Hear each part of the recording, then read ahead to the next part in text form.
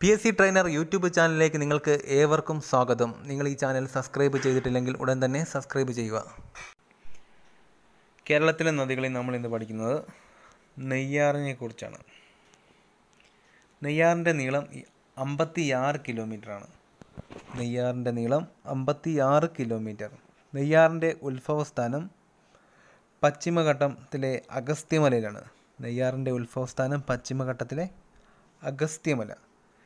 കേരളത്തിലെ ഏറ്റവും തെക്കേ അറ്റത്തുള്ള നദിയാണ് നെയ്യാർ. കേരളത്തിലെ ഏറ്റവും തെക്കേ അറ്റത്തുള്ള നദിയാണ് നെയ്യാർ.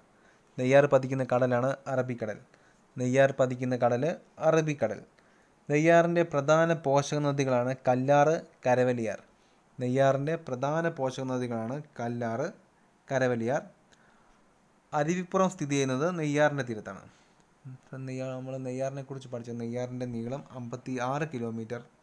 നെയ്യാറിന്റെ ഉത്ഭവസ്ഥാനം അഗസ്ത്യമല പശ്ചിമഘട്ടം കേരളത്തിലെ ഏറ്റവും തെക്കേ അറ്റത്തുള്ള നദിയാണ് നെയ്യാറ്. നെയ്യാർ പതിക്കുന്ന കടലാണ് അറബിക്കടൽ. നെയ്യാറിന്റെ പ്രധാന പോഷക നദികളാണ് കല്ലാറ് കരവല്ലിയാർ.